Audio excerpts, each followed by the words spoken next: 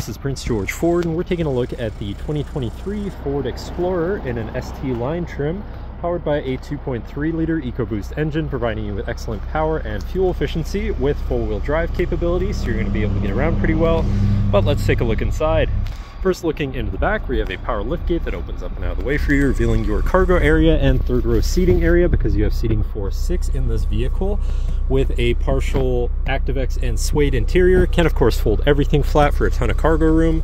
Also have a 12 volt power outlet and underneath here you have some more storage space. And this closes again with the press of a button. Looking into the second row we have seating for two with armrests. And in the middle you have rear climate controls two usb-cs a 12 volt power outlet and then two more cup holders.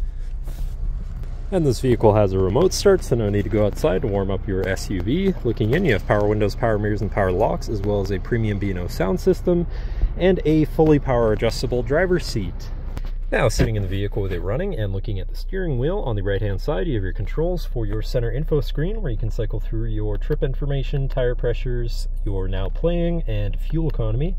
You can also go into further information and settings and then on the left you have your cruise controls with distance pacing technology, uh, adaptive steering, and then your hands-free phone and radio controls along the bottom, as well as your lane keeping system on the end of the signal stock.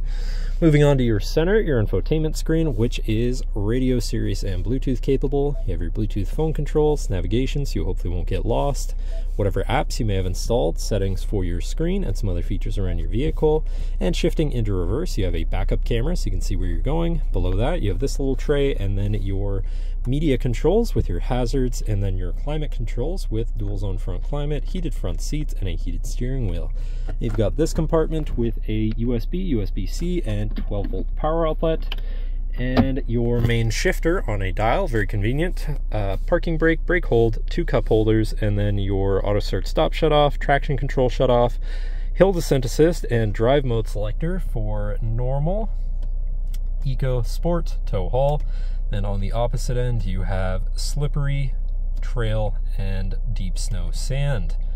Then you've got a wireless charging pad here so you can throw your phone on there and your center compartment slash armrest with a ton of room inside, including another 12 volt power outlet. And last but not least, you have a twin panel moonroof so you can land the sunshine. But that should cover our look at the interior.